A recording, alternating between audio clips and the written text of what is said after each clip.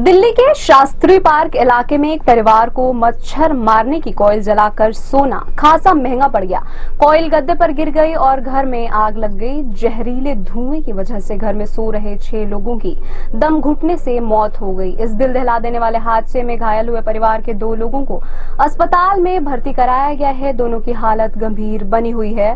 Police ने शवों को पोस्टमार्टम के लिए भेज दिया है। पुलिस उपायुक्त जॉय टिर्की ने बताया कि पुलिस को सुबह करीब करीब 9 बजे सूचना मिली कि शास्त्री पार्क के मच्छी मार्केट में मजार वाला रोड पर एक घर में आग लग गई। घटना स्थल पर पहुँचने के बाद पुलिस को पता चला कि नौ लोगों को जग प्रवेश चंद्र हॉस्पिटल में ले जाया गया है। उल्लेखनीय है कि देश में बड़ी संख्या में लोग मच्छरों से छुटकारा पाने के लिए इस कॉइल का इस्तेमाल करते हैं। हालाँकि इसका धुआँ सेहत के लिए खतरनाक बताया जाता है। इससे फेफड़े को भी नुकसान पहुँचता है।